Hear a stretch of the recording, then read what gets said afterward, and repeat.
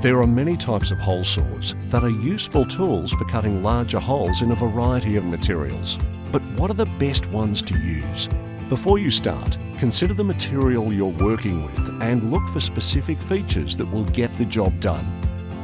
If you are cutting in metal, HSS bimetal hole saws are effective with their varied pitch teeth for cleaner and more accurate holes. Use cutting fluid to prolong the life of your hole saw.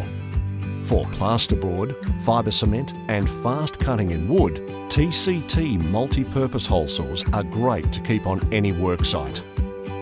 And for those tough materials, carbide teeth hole saws can cut through wood and nails, mild steel, stainless steel and brick.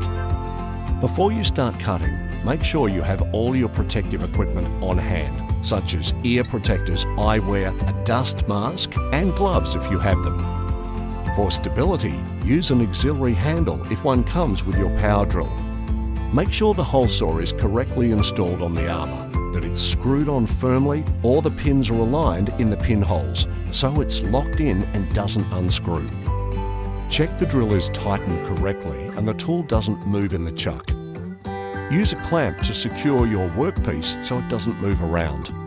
Smaller hole saws can drill faster, but the harder the material and the larger the hole, slower speeds will prolong the life of your hole saws. Before you start cutting, use a centre punch which will provide a good starting point, prevent your pilot drill from wandering and bite into the material faster. To make the cutting process easier and to not overheat the hole saw, intermittently pull out of the hole and reapply coolant when cutting in metal. If you're wanting a clean cut, stop cutting halfway through. Make sure the pilot drill has breached the other side and cut again using the pilot hole until all the way through. Needing to enlarge a hole?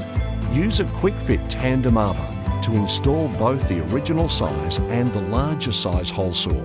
Place the smaller hole saw in the hole and cut with the new size. If your hole saw becomes blunt or damaged, replace it. Old hole saws will be harder to work with. For more information, check out suttontools.com.